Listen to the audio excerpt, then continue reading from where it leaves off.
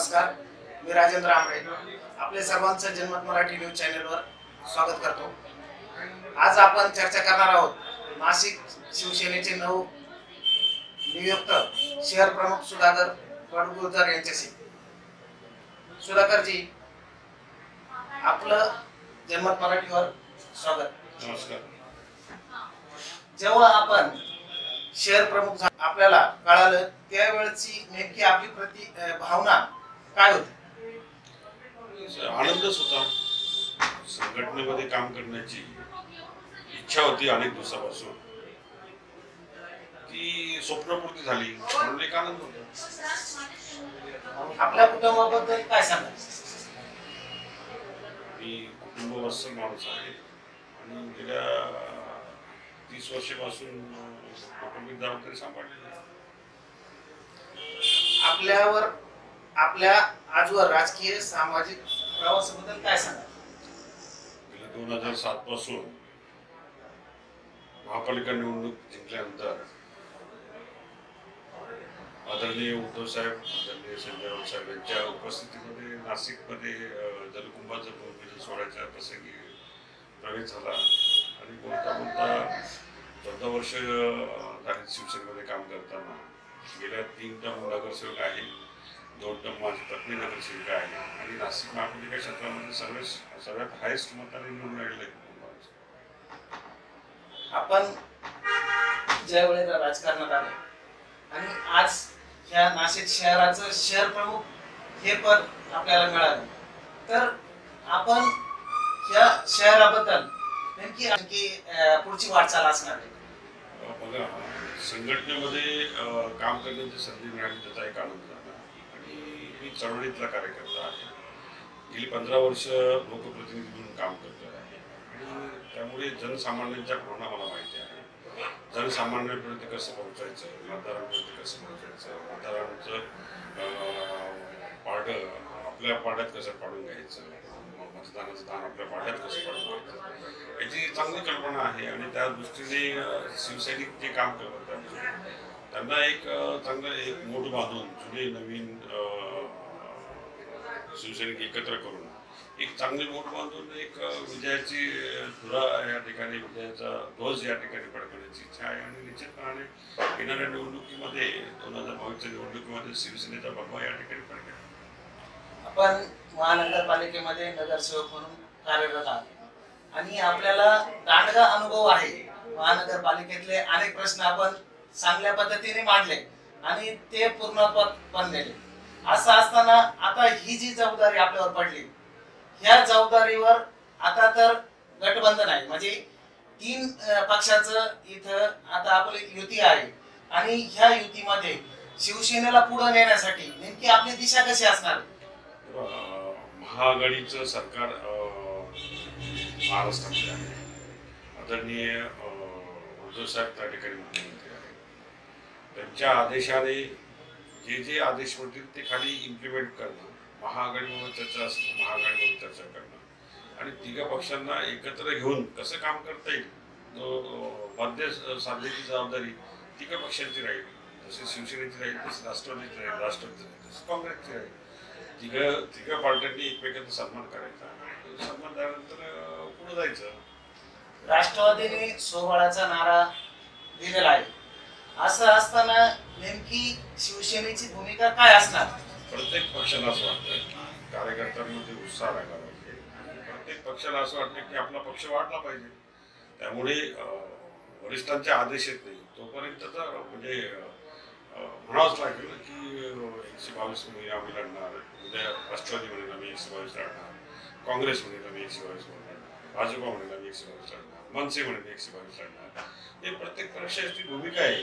निवडणुकीपूर्वी जे तळजोडी होतात त्या एकत्र बैठक होतात त्यामध्ये तुमची आघाडी कशा पद्धतीने होते? म्हणजे, आफ्टर इलेक्शन का बिफोर इलेक्शन फ्रंट अलायन्स होतं का आफ्टर अलायन्स होतं? ते त्यानुसार हे पुढं, निवडणुकीची दिशा ठरते आणि त्यानुसार जागा फॉर्मॅट ठरतो त्यानुसार त्या सूत्रानुसार निवडणुकीला सामोरं जावं. कालपर्यंत तसं पाहायला गेलं तर कालपर्यंत आपली युती बीजेपी बरोबर राहिलेली. महानगरपालिकेमध्ये. असं असताना मग आता यापुढे शिवसेनेला म्हणजे शिवसेनेची बीजेपी बरोबर असताना गळचेपी झाली असं आपल्याला वाटतंय का? आता हा मुद्दा जो आहे तो महाराष्ट्र सरकार बनवताना ज्यावेळेस ज्या तरतुदी झाल्या होत्या त्याच्यावरती भारतीय जनता पार्टी शिवसेना आमच्या दोघांमध्ये संघर्ष झाला. आणि संघर्षाचे परिणाम महाराष्ट्राचं सत्ता परिवर्तन झालं आणि तिथून जे चालू झालेलं आहे अं, महाआघाडी आणि भाजपा हे दोन लोकांच्या दोन भूमिका या ठिकाणी निश्चितपणाने महापालिका निवडणुकीत आम्ही करणार. आता मला एक सांगा. युती चांगली होती का महाविकास आघाडी? आपल्याला नेमकी काय वाटतं?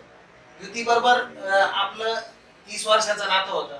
आणि आता महाविकास आघाडी करून आपण सत्तेत आहोत. तर नेमकी दोघांमधलं काय आपल्याला फरक जाणवतो? बघा पक्षाची जी भूमिका असते ती अंतिम असते. आणि पक्षप्रमुखांनी घेतलेला निर्णय तो अंतिम असतो. ती आम्हाला काय वाटतं की त्यांना काय वाटतं तो विषय हे करण्यापेक्षा पक्षप्रमुखांनी दिलेला निर्णय इम्प्लिमेंट करा. पक्षातील वरिष्ठ तसेच नाशिक शहरातील जे पदाधिकारी त्यांच्याकडून ज्या आपल्या अपेक्षा आहेत त्याबद्दल आपली काय भूमिका असणार आहे? हे बघा जे चांगले काम करतात शिक्षक त्यांना बरोबर घेऊन जे थोडं कमी प्रमाणात काम करत नसेल त्यांचं स्पीड कसं वाढवता येईल आणि जे काम करत नसेल त्यांचाही त्यांनाही प्रवाहामध्ये कसं आणता येईल? हे तिघ सर्वसमावेशक भूमिका घेऊन एक आलेख तयार करून त्यांना चळवळीमध्ये आणून आणि एक संघटन मोठ्या प्रमाणात उंचीवर कसं नेता येईल तो माझा प्रयत्न आहे आजपर्यंतचे जे शहर प्रमुख राहिलेले त्यांच्याबद्दल आणि आपल्याबद्दल नेमकी ज्या आपल्या ज्या कार्यकर्त्यांच्या ज्या भावना आहेत त्याबद्दल काय सांगा इथं शिवसेनेच्या चालतो प्रमुख होते. त्यांनी पण चांगलं काम केलं. त्यांच्याबद्दल काही वाईट बोलण्याचं कारण नाही. त्यांनी त्यांच्या पद्धतीने संघटना बांधण्याचं काम केलं संघटनेला चालना देण्याचं काम केलं. परंतु पक्ष नेतृत्वाला वाटलं की बदल केला पाहिजे. आमच्याकडे आदेश संपतो त्या आदेशानुसार बदल झाला आणि जबाबदारी आल्यानंतर त्या एक तीन दिवसापूर्वी जबाबदारी आली. त्या दिवसापासून माझी कामाची सुरुवात आता महानगरपालिकेमध्ये बीजेपीची सत्ता आहे. आणि आपण तर काही सत्तेत नाही. परंतु अशा वेळेला मग कुठंतरी आपल्या प्रभागाचा विकास कुठलाय का? किंवा प्रभागाच्या विकासाबद्दल काही आपल्या काही त्यांच्याकडून पूर्तता झालाय का? बीजेपी बीजेपीकडून आणि यामध्ये पूर्तता बघा सत्ताधारी पक्ष आणि विरोधी पक्ष हे दोन भूमिका आहेत. आम्ही ज्या ज्या वेळेस शहर विकासाची गोष्ट येईल त्या त्यावेळेस निश्चितपणाने भारतीय जनता पार्टीला सभागृहामध्ये शहर विकासाच्या दृष्टीने मदत केली. आणि ज्या ज्या ठिकाणी चुकीचं काम होत असेल त्या त्या ठिकाणी प्रहार केला आहे आक्रमकता दाखवली आहे विरोध दर्शवला आहे. आणि त्या पद्धतीने आम्ही विरोध करण्याच्या भूमिका आहे. नेमकी पुढची दिशा कशी असणार आहे? निवडणुकीची दिशा कशी असणार आहे? आणि एवढ्या सगळ्या कार्यकर्त्यांना बरोबर कसं आपण नेणार आहात? शिवसेना काही नवीन थोडी गेल्या पन्नास निवडणुका शंभर निवडणुका त्यांनी लढलेल्या आहेत. संघटन आहेच ना. जशा निवडणुका मागच्या त्याच्यापेक्षा चांगली निवडणूक कशी होईल पण प्रत्येक निवडणूक काहीतरी अनुभव घेऊन जातं आणि पुढच्या निवडणुकीला सावध होतं. ते सर्व अनुभव घेऊन पुढे जाणार आणि त्याच्यापेक्षा चांगल्या पद्धतीने कसं लढता येईल आणि निवडणुकीत विजय कसा मिळवता येईल ते आम्ही बघणार. वरिष्ठांनी जो आपल्यावर विश्वास दर्शवलाय तो कसा साध्य करणार? ते का कामात साध्य होईल ना. कामाचं तुम्ही प्रगती करणार तुम्ही चळवळ निर्माण करणार तुम्ही काम करणार बूथ प्रमुखांपर्यंत जाणार शाखा प्रमुखांपर्यंत जाणार लोकांपर्यंत जाणार लोकांचे प्रश्न सोडणार तर त्याला यश मिळेल म्हणजे शिवसेना वाढीसाठी आपले विशेष प्रयत्न असणार आहे. यात काही शंकाच नाही. शंभर टक्के.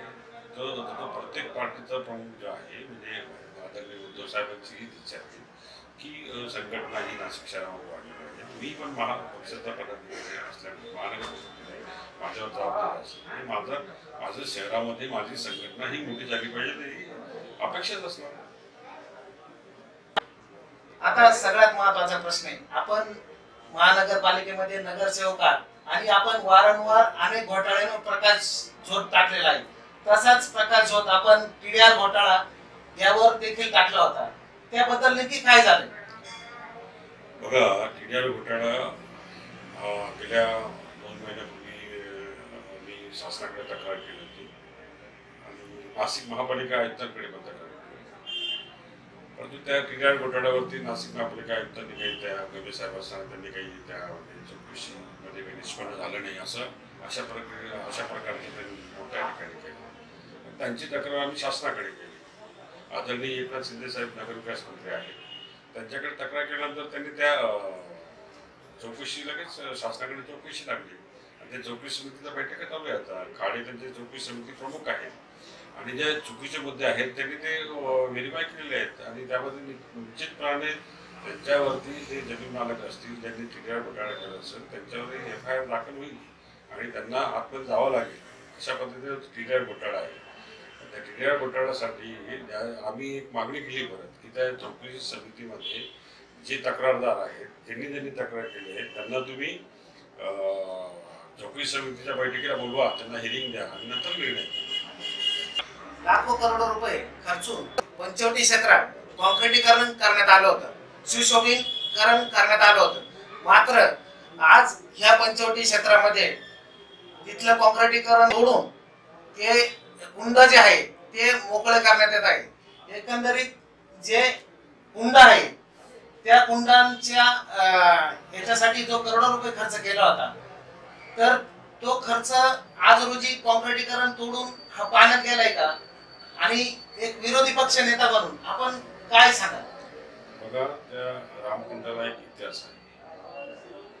ज्यावेळेस मी काँग्रेटीकरण केलं असेल तो त्यावेळेस असं मी की गोदावरी पात्रामध्ये नॅचरल स्ट्रोक हे जमिनीतून आलेले आहेत.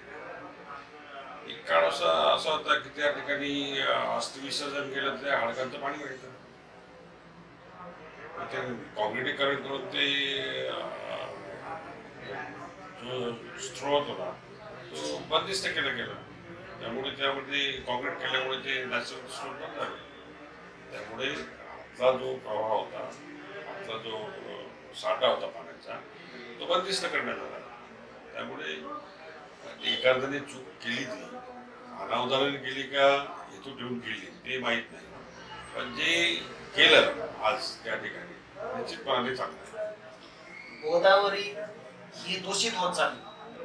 आणि गोदावरी स्वच्छ करण्यासाठी करोडो रुपये खर्च केले गेले. परंतु गोदावरी बाकी स्वच्छ होताना आपल्याला काही दिसत नाही. याबद्दल आपण काही प्रयत्न करणार आहात का?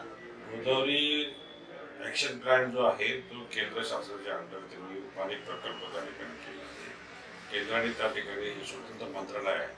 त्यांनी त्यामध्ये लक्ष घालून ॲक्शन ऍक्शन प्लॅन तयार केला. जसं काय